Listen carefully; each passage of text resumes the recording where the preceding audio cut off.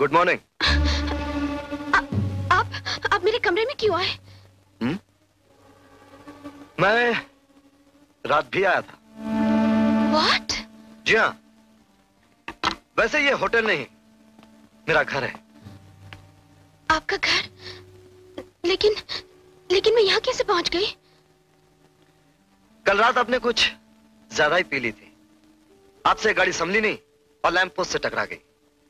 सुनसान सड़क पर कुछ गुंडों ने आप पर हमला किया। इत्तेफाक से मैं वहाँ पहुँच गया।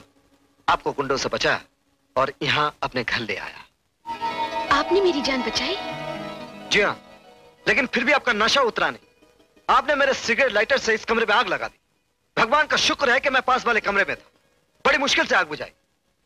उसके बाद आपके कपड़े उतारे और कमरे आपने मेरे कपड़े जी हाँ मैंने यानी कि आपने नहीं नहीं जी नहीं। मैंने कुछ नहीं देखा।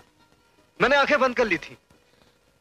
ओह thank you very much you welcome लेकिन मेरे कपड़े? एक minute.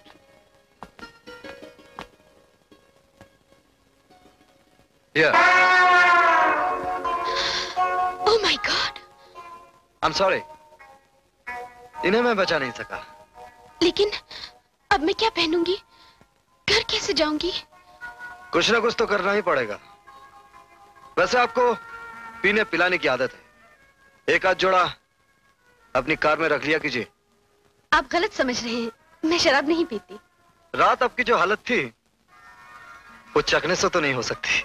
रात पार्टी में किसी ने मेरे साथ शरारत की। कोई में शराब मिलाकर पिलाता रहा और मैं तीन चार ग्लास पी गई। नशा महसूस हुआ तो मैं पार्टी छोड़कर चल पड़ी। गाड़ी रुकने तक तो याद है। बाकी कुछ याद नहीं। कुछ बातें भूल जाना ही अच्छा होता है। खैर फ़िलहाल आपको मेरे ही कपड़ों से काम चलाना पड़ेगा अगर आपको इतराज ना हो तो। नहीं नहीं ऐतराज तो नहीं लेकिन अगर आप जरा बाहर जाएँ तो मैं आपको आज